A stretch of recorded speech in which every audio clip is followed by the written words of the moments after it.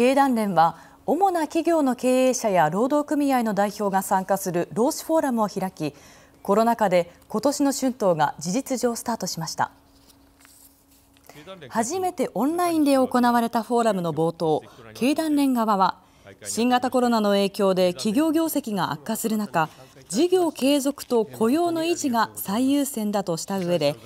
業種横並びや各社一律ではなくそれぞれの事情に合った賃金決定が重要だと呼びかけました。一方連合は経済の立て直しには賃上げの継続が重要だとして2%程度のベアベースアップを要求する方針を掲げています。今後3月17日の集中回答日に向けて雇用と賃金をめぐる労使の交渉が本格化します。